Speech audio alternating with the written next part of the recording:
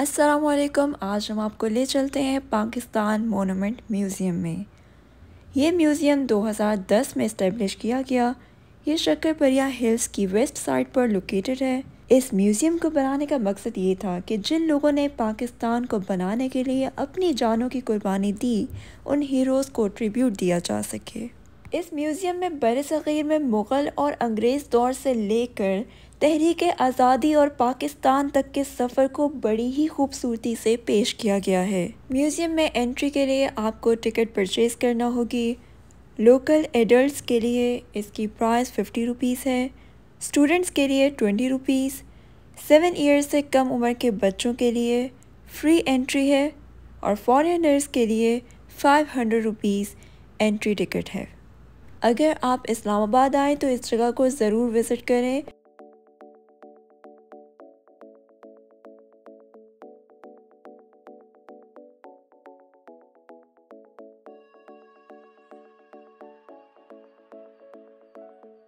इस सेक्शन में आपको शरीफुल मुजाहिद और डॉक्टर जवार हुसैन जैदी जैसे Quaid scholar, Hafeez Jalandhari poet of the national anthem Sufi Tabassum national song writer Ashfaq Ahmed national drama writer Hameed Nizami founder of Nawaye Waqt Jamiluddin Aali national song writer इनसे related information pictures biography और इनके ज़ेर इस्तेमाल रहने वाली कुछ चीज़ें इस म्यूज़ियम में रखी गई हैं।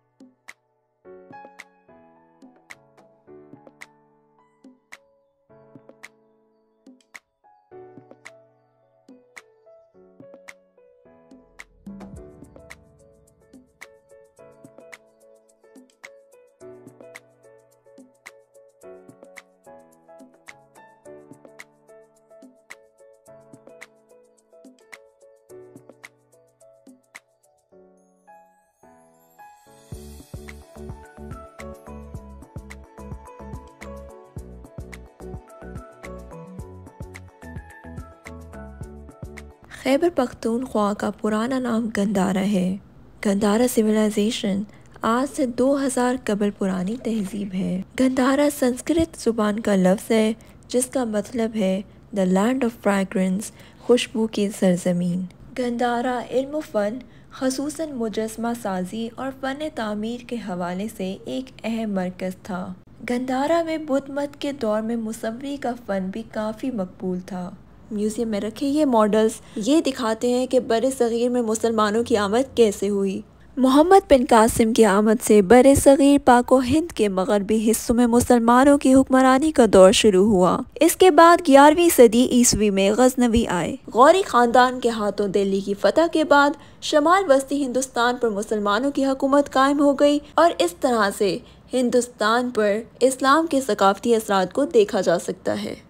हिंदुस्तान में मुगलिया दौर का आगाज़ 1526 में हुआ जबकि इसका ख़ात्मा हिंदुस्तान की जंग आज़ादी में नाकामी के बाद आखिरी ताजदार बहादुर शाह जफ़र की माजूली पर हुआ। इस ख़ानदान के अहम बादशाहों में बाबर, हमायूं, अकबर जहांगीर, शाहजहाँ और औरंगज़ेब के नाम लिए जा सकते हैं। सूफिया कराम बर हिंद में मुसलमान हुक्मरानों के साथ आए। उन्होंने माशरे में मोहब्बत, रवादारी और समाजी हम आहंगी का प्रचार किया। बर सग़ीर के नुमाया सूफिया कराम में सैयद अली हिजवेरी दाता गंज बख्श, फरीदुद्दीन मसूद गंज शक्कर नज़ामुद्दीन ओलिया मोइनुद्दीन चुश्ती अजमेरी और बहाउद्दीन जकरिया शामिल थे। शाह हुसैन शाह लतीफ़ भटाई रहमान बाबा, बुल्ले शाह मस्त वकली और ख्वाजा फरीद जैसे सूफ़ी शायरों ने अमन और हम आहंगी पैदा करने में अहम किरदार अदा किया। पहली जंग आज़ादी 1857 और 1858 के दरमियान हुई। ये बरतानवी गुलामी से छुटकारा हासिल करने की पहली हिंदुस्तानी कोशिश थी, जो मुनज़म और मौसर क्यादत की कमी, ज़राए मवासलात पर कंपनी के मुकम्मल कंट्रोल और हिंदुस्तानी अवाम की माशी बदहाली के बायस नाकाम रही। 1857 की नाकाम जंग आज़ादी के रद्द अमल ने हावर करा दिया कि बरतानवी राज को महज मसला जद्दोजहद से ख़त्म नहीं किया जा सकता। अंग्रेज़ी तसलुत से आज़ादी हासिल करने और मुसलमानों को कौमी धारे में लाने का बेड़ा सर सैद अहमद ख़ान ने उठाया। उन्होंने मुसलमानों का मुस्तबिल एक आज़ाद और ख़ुद मुख्तार कौम के तौर पर देखा। सर सैद ने तारीख, मजहबी असलाह और साइंसी इल्म के मौजू पर मुतद किताबें तसनीफ़ की। अलामा इकबाल ने 1933 में मस्जिद कुर्तबा की ज़्यारत के लिए स्पेन का विज़िट किया। अलामा इकबाल इस आलीशान और पुरवकार मस्जिद से इतना मुतासर हुए कि उन्होंने इसके मशहूर कन नज़ारे की तारीफ़ में अपनी मशहूर नज़म मस्जिद कुर्तबा लिखी।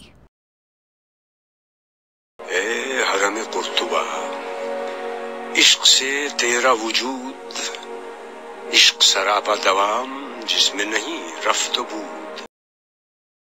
1930 में आलाबाद में अलामा मोहम्मद इकबाल ने मुस्लिम लीग के सालाना अजलास में पंजाब शिमाल, मगरबी सरहदी, सूबा सिंध और बलोचिस्तान पर मुश्तमिल एक अलहदा रियासत का तस्वुर पेश किया। अलामा इकबाल के खिताब में अगरचे पाकिस्तान का नाम नहीं था, लेकिन उसमें मुसलमानों के अलग वतन की रूह मौजूद थी। अलामा इकबाल के नवादरात के सेक्शन में आप अलामा इकबाल के जेर इस्तेमाल कुछ चीज़ें देख सकते हैं, जैसे कपड़े, टोपी, किताबें कालीन, पंखा, जूते, कलमदान दवादान लकड़ी की मेज़, उनकी ज़ाती नोटबुक, सोफ़ा, कुर्सी और कई यादगार तस्वीर देख सकते हैं।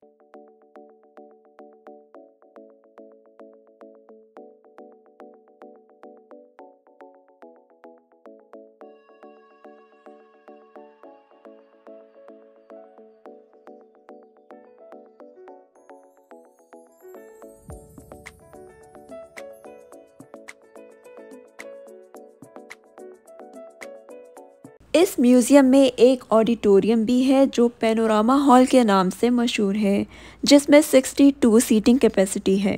यहाँ नज़रिया पाकिस्तान, क्याम पाकिस्तान, तारीख़, आज़ादी की जद्दोजहद और तरक्की से मुतलक तस्वीरी मंजर कशी वीडियो, फ़ीचर फ़िल्में आप अपनी फरमाइश पर लगवा सकते हैं।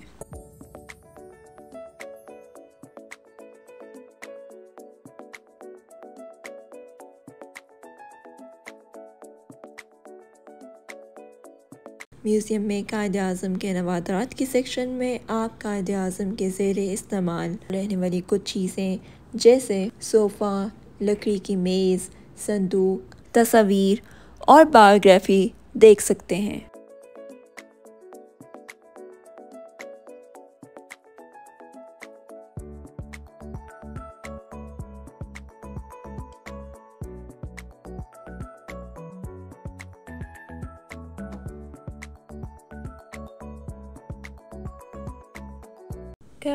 लाहौर, जो करारदाद पाकिस्तान के नाम से मशहूर है, ट्वेंटी थर्ड मार्च 1940 को मनकद हुई। इसमें कहा गया था कि हिंदुस्तान के शमाल मगरबी और मशरकी इलाकों में जहाँ मुसलमान अक्सरियत में हैं, वहाँ आज़ाद रियासतों पर मुश्तमिल इनका एक वतन तश्कील दिया जाए। मुस्लिम लीग और कांग्रेस के दरमियान जमूत को तोड़ने और हिंदुस्तान की आज़ादी के हसूल की गर्ज से सितंबर 1944 में मुंबई में गांधी जना मुजाकरात हुए। यहाँ पर थर्ड जून 1947 के प्लान को डिस्कस किया जा रहा है, जिसमें लॉर्ड माउंटबेटन ने ऐलान किया था कि हिंदुस्तान को ख़ुद मुख्तारी का दर्जा देकर हिंदुस्तान और पाकिस्तान की दो जुदागाना रियासतों में तकसीम कर दिया जाएगा। इस मंसूबे के नतीजे में बंगाल, पंजाब, सिंध शुमाल मगरबी सरहदी सूबा, बलूचिस्तान और सिलहट पाकिस्तान का हिस्सा बन गए। नई ममलकत पाकिस्तान में महाजरीन को ट्रांसपोर्ट, रिहाइश, खुराक, रोज़गार, सेहत और सफ़ाई की सहूलतें फ्राहम करना आसान न था। कायद अजम मोहम्मद अली जना का शुमार अपने दौर के कामयाब तरीन वकीलों में होता था। मोहम्मद अली जना एक सियासतदान थे, लेकिन इनका गुजर बसर वकालत से होता था। वो अपनी अनथक मेहनत और सलाहियतों के बायस कामयाब वकील बन गए। दलाइल की ताकत ने, जो उन्होंने अपनी कानूनी प्रैक्टिस से हासिल की, तख्लीक पाकिस्तान और आइनी समझौते की राह में एक अहम किरदार अदा किया। मोहतरमा फातमा जना कायद अजम की छोटी बहन थी। तहरीक पाकिस्तान में इन्होंने बढ़ चढ़ कर हिस्सा लिया और कौम ने इन्हें मादर मिलत का खताब दिया। 14 अगस्त उन्नीस को पाकिस्तान की दस्तूर साज असम्बली में लॉर्ड माउंट पीटन की तकरीर के जवाब में कायद अजम ने खताब किया। उन्होंने पाकिस्तान में मुख्तलिफ़ मजाहब के पैरोकारों के जानमाल के तहफ़ पर ज़ोर दिया।